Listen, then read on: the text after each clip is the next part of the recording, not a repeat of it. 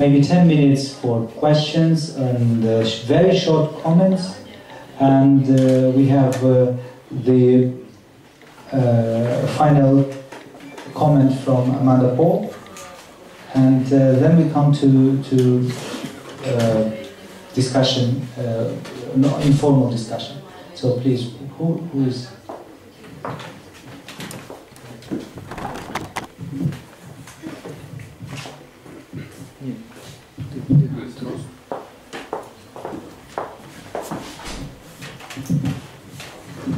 Hello, I'm uh, a member of uh, youth movement uh, um, European Generation. My name is Alexander Ivanov, and I, I really like what Amanda said.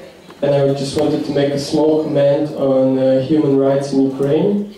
I just wanted to give a short historical example on the, the use of tools of, of legislation system when uh, USSR made an agreement with uh, United Nations about human rights, the, um, the in the headquarters of USSR, they thought that it's something like a piece of cake, it's, it's not important. But this agreement gave uh, an opportunity for Soviet dissidents. Um, it gave an opportunity to uh, people who were imprisoned in uh, Gulag, in Norilsk, for instance, um, to have a something they could stand on and claim their rights and claim the human rights. And this tool was crucial, to my opinion, in breaking um, the anti-human system of the Soviet Union. So I think, uh, with, with regard to human rights, um, the, the legislation system of the EU, the, the fact that Ukraine belongs somehow or connected to EU will help much more for uh, human rights in Ukraine than just uh, freeing Yulia Tymoshenko or Yuri Lutsenko. Thank you. Um, I don't really have a, response to that. I just, I mean, I totally agree um, with what you said, that obviously the, EU process can help improve human rights um, in Ukraine. Uh, for sure, it's important. Well, any, any other questions? Okay, thank you very much. Um, I'm Vladimir Lesuk. I represent the company Ukraine Industry Expertise. So we are experts in Ukraine industry. And uh, uh, maybe some sentiments about our previous discussions. Um, everybody of us would like to see Ukraine as a power regional leader, of course, but we understand the real state of our infrastructure, our economy, and we know that uh, our uh, production facilities, technology, infrastructure are very outdated now in dissipation. So the access to European Union will help maybe not only in sense of getting some funds, some money, some investment in Ukraine, but also um, uh, taking the uh, experience of European in more transparent regulation of economy, less corruption and so on, because that's the main problem for Ukraine and for the progress for Ukraine. And uh, also we know that European Union is the biggest trade partner of Ukraine. And we now have recession in industry production and European Union also have recession. Maybe a recession in Ukraine also is joined with the situation in European Union because, for example, for exporting steel sector and steel products, our uh, European Union uh, is very important. But my questions will be the next. Uh, now we have not very good and favorable economical background for our progress in signing this uh, uh, association agreement. So, um, uh, can you say about uh, how uh, much is effect of this not very good economic background for all the process? Does it influence all the process of signing agreements, uh, not very good economical situation in European Union. And the second one question also, do you agree that joining Ukraine to European Union will contribute also uh, European Union because Ukraine is a very big territory in Europe with the population, natural resources and so on. And uh, uh, can it also help for European Union as a space for investment, for production, and for the further growth of economic of European Union. Thank you.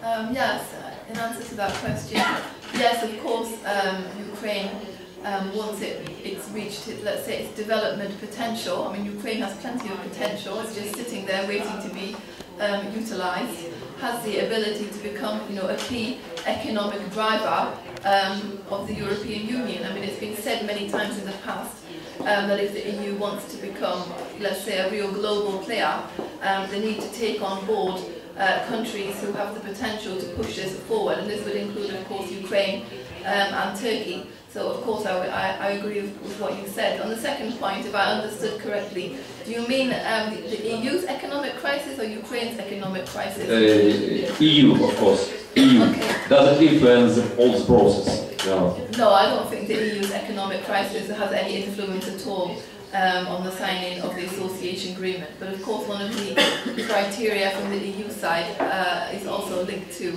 improving uh, the business and investment climate um, in Ukraine, which is in a, in a quite, um, let's say, a poor condition, um, to put it mildly. Yeah, before Alexei will, will have his, uh, have his uh, remark, I would like to have mine. Uh, just a few days ago, I uh, uh, almost had uh, standing ovation after I told on some investors meeting that Ukraine is not to be considered to be a market anymore because 45 million people is a small number. We have to understand that because when we see the figures of Nigeria, for example, in uh, 30 years having uh, eight times more population of 400, people, 400 million people, then we have to look at that as a market. And if Ukraine thinks that way, that we are a part of Europe, whatever uh, institutionally it is formed, but not as a market, because we are not a market in that sense which Nigeria or the other uh, African or Asian uh, countries grow, then it would be easier for, for us to, to, uh, to accept that chemical uh, supplies or uh, the raw iron supplies to Europe is not trade and we need GDP five times higher and we cannot achieve that in any case by that supplies we have in Europe. So nothing to uh, nothing to expect from that sectors. We need other sectors which can be organized only with strategic investors from Europe, but not selling here in Ukraine because it is small market, but selling somewhere where they know how to sell. Let them revive their African uh, partners, former colonies, and help us to sell together our products to, to that market, which uh, can be attractive. That's my opinion. Please. Uh, First, uh, just short comment to you, Margaret. It's not only about the number of population, it's about the capacity of concrete person by population, how much is the person eager to buy something. And for example, in Nigeria and Ukraine, per capita GDP are different. That's why our population uh, could buy a little bit even more than Nigeria's population due to other factors. But coming back to your question, it is exactly, I don't agree with you, uh, Amanda, that it is exactly due to the crisis that uh, European Union is much more eager to sign the agreement, especially the DCFTA, which will be enforced immediately after signing the agreement and not after ratification of agreement, what is going to happen with political part and what is not going actually to happen because we will have the problem with ratification if we sign it this November.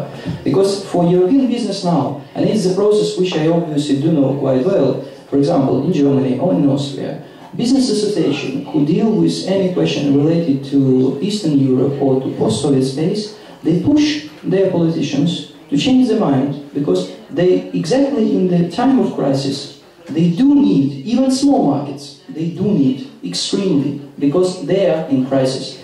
And they do need the possibilities because even now until all failures of last 20 years Ukraine is quite a good perspective market. It's just nearby. There are many success stories near on the border in Poland Hungary Slovak Republic Czech Republic where actually there is uh, many examples of success stories if everything or mostly are properly prepared and then implemented. That's why there are even success stories here in Ukraine with many of the businesses, but despite uh, many other factors. That's why exactly due to the crisis now I see just uh, the business of the European Union is quite good in probably lobbying, okay guys, let's sign with those Ukrainians the agreement because DCFTA will be enforced immediately after signing. And then you can talk about ratification, politics, and something like this. This is, from my point of view, this is a position. And this is probably a normal position, because business is about money. Politics as well, but not so much. Thank you. Next question. Uh, I have a question to all speakers. My name is uh, Vyacheslav Levchenko. I represent the young generation who have studied in Austria, in EU, who lived, uh, work, uh, who know what is this uh, to live in European Union. And how you think, how many people understand what does it mean to be a part of the European Union? Really understand this? Huh? Ukraine. Ukraine, yes, yes.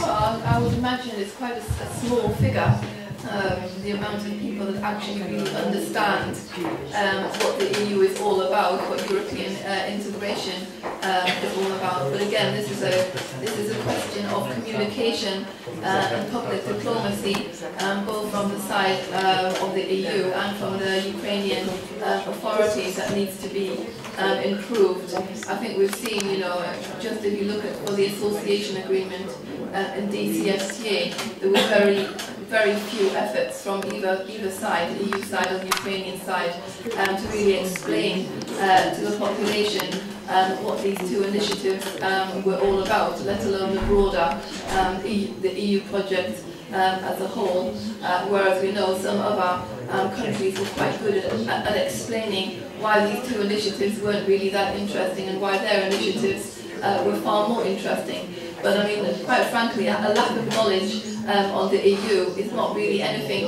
new. I mean, in many EU member states, um, there's a, a substantial lack of knowledge um, as to what the EU is all about, including in my own uh, country in the UK, um, which is now considering withdrawing its uh, membership of the EU. So of course it's something that needs to be addressed. You can always do better public diplomacy and communication strategy uh, to improve this, uh, which definitely needs to be to be looked at by both sides. This is probably, I just like to add, this is quite an interesting example where we do need uh, actually to talk with many of the people what is exactly the European Union because to to expect European Union to be a paradise, it's a wrong perspective. Beforehand, we have some communistic dream, so the communists will come and everything will be okay, nobody will need to, to work. Uh, now, for some of the people who doesn't know uh, about reality in the EU, this is like communism. That somebody from outside will come and will solve all our problems. That's why for some people, and it's, uh, it's not uh, a good tendency, they expect EU to solve their problems, probably to remove the current power or to remove uh, these uh, huge gaps in social economic development. And it, it, will not happen in any case. That's why, and it will be once more this uh, non-success story for Ukraine when we expect too much, do nothing for reaching some quite uh, good goals, and then we try to blame anybody else from outside um, while we're we are actually the persons who should be blamed by themselves. That's why it's very, and for the EU it now to confront positively, to confront with this picture, you do need probably a dramatical progress in visa issue, because until now, it's much more about documents, much more about declarations, visa liberalization plan, but if we take honestly now the tendency, if beforehand we had the problems with the numbers of rejections, and even now, I don't know if anybody in the audience know that per capita, Schengen visa is much more given for the best democratic state in Europe, Belarus, then the second best democratic state in Europe, Russia, and then probably to Ukraine per capita. This is just about the standards and rules. And then as well, um, this is now the issue. Okay, there is a decrease of number of rejections, but now we have the situation that multi-visa Schengen is not so eager to get by the Ukrainian citizens. I don't know for uh, some others. It's the history during the last year or the last two years. I don't know why it is happening just now, but this is, this is the reality. And let's be honest, let's do something, because if much more many Ukrainian citizens have a chance, even for one week, to travel to European Union, to look for all these standards there are, to get this practical experience, it, which, it would be much more better for European integration of Ukraine than any TV talks any conferences held in any audience, because it's a practical experience, it would be much more better to have economic progress, bilateral, mutual beneficial progress in economics, not only holding Ukraine as, okay, some kind of good farmland, where we could invest something to good, good harvest and take out, and then to some market. Yes, I'm, I'm, very tempted to, to but uh, I think I agree with you. I would be I would be very happy if we had uh, visa liberalization uh, now. Uh, I would I would have so much more time to do uh, you know more meaningful work, uh, and I would have about 15 of my staff doing other work, or probably working somewhere else more productively. Uh, but I think let's be honest, um, uh, as I said with the visa liberalization action plan, um, uh, this, this is a clear list of what needs to be implemented, not by the European Union, but very clearly understood and agreed uh, by the Verkhovna Rada and needs to be implemented by Ukrainian authorities. Now, for some people, you know, this may sound as a very difficult exercise, but let me assure you, how many countries have achieved that. Uh, you know, countries, when you ask somebody in Austria, they would be scared, you know, uh, Montenegro, Bosnia, uh, Macedonia, Albania, you know, and they have been much faster in implementing very similar measures and steps. Uh, now, I really don't understand why Ukraine is dragging its feet on this issue, because it's purely and uniquely in the interest of Ukraine. I would be more than happy to see that uh, uh, progress uh, much faster. On the other hand, uh, just to, to give you an understanding why visa issue is, is, is, is something that is, is still out there, uh, and I think why the association agreement will be helpful in, in reducing these kind of disparities. Uh, Austrian population 8 million people um, uh, managed to have you know a greater GDP as uh, Ukraine with 45 million people. I think this also for me is, is a, an ambassador from a small country, small and medium-sized country, as we say, that it's not about size, it's not about strategic value, it's not about you know the most uh, productive agriculture. It's about rules and predictability. Business, as you say, is about money, but business is about predictability. Business climate in Ukraine has certainly not improved over the last two years, and I would be in a position to confirm that with a dozen of you know personal examples. Um, if I'm not working with visa affairs, I'm busy with mending problems that some Austrian investors or business people have. Um, and in that respect, uh, 8 million people uh, if the numbers are right, that's the amount of pensioners in Ukraine who receive their minimum pension. Uh, now, one other figure, 77% uh, of Ukrainians have never traveled, never left the country. Um, and in, in, set, in, that sense, I think there, there is a potential that is in certain countries perceived in, in a bit more you know, skeptical and critical way. And to be honest, uh, Russia, uh, yes, the, the, visa numbers we've seen in Russia have been have been rising very very fast over the last 10 years. But then again, average income of a Russian citizen, you tell me, is probably three times higher than the Ukrainian one. Um, and as far as I'm concerned, the numbers I know, we've seen a steady increase and, and, and certainly a strong increase uh, with the visa numbers in the Schengen partner countries here in Ukraine at our embassy and we've seen a lot more long-term visas and a lot more multi-travel uh, uh, uh, visa.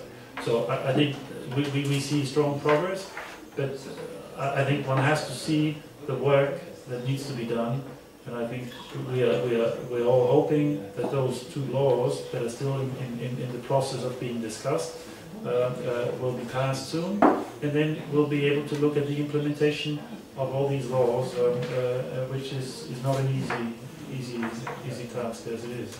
I just like to add because it's very important question. It's very, it's very important. It's about the strategy because, for example, we experienced EU citizen for almost 10 years, visa-free regime with Ukraine. Yes. And I listened to the former, former Minister of Foreign Affairs, who actually was initiator or deputy initiator that in 2005 they were cancelled. And now he told the person who is in favor of EU membership, in favor of association agreement signed, and now he told this year, probably I would have not signed this visa-free regime for EU citizen, because now we experience 10 years waiting for something. Yes, of course, we should blame ourselves that we have not implemented something like this, but the practice, for example, if you take the numbers, how many, it was a very cautious issue with the European Union when we signed visa liberalization regime about so-called people who just would be caught in the EU and should be sent back to Ukraine. And it was a huge objections from Ukrainian side that would be a huge numbers of some Ukrainians sent back from the EU due to that. Now, would you like to know the numbers of those people sent back from the EU to Ukraine? Probably two persons in the last year. So there is, from a strategic point of view, there is no uh, just objections from the EU side to have some fear that millions of Ukraine immediately after visa-free regime would change their mind and go into ZU. It was the same case because I wrote my PhD thesis on Eastern enlargement. And there was the fear from Germany and Austria that immediately after Eastern members, Poland, Czech Republic, Slovak entered the European Union, the millions or hundreds of thousands of Czech Poles eh, will go to Austria, to Germany. Now, 10 years after, what we see, they were only fair. Both of the sides have benefited from this. So sometimes we need the courage to make the first step. Thank you. Uh, maybe the last question or remark. All right. So the, the last the last question or remark. Дякую. Добрий вечір, шановна аудиторія. Я хотів би задати питання, що що буде потім. Коли буде підписана, підписаний документ, мені цікаво, на ваш погляд, чи витримують українські е, товаровиробники, які задіяні у сфері малого та середнього бізнесу, конкуренцію європейських товаровиробників? Дякую.